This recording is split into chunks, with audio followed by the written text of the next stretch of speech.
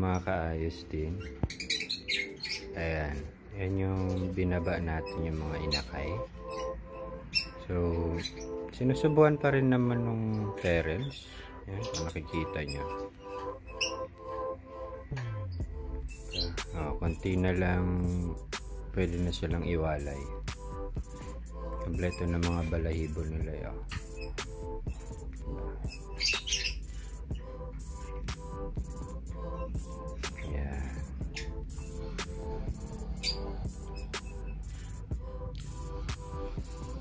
Isa, oh, nadipad na, di ba? So, marunong na sila. Natuka-tuka na rin.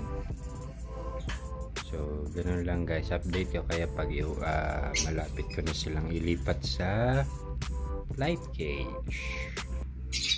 Yan. Dito na lang tayo mga kaayos dito.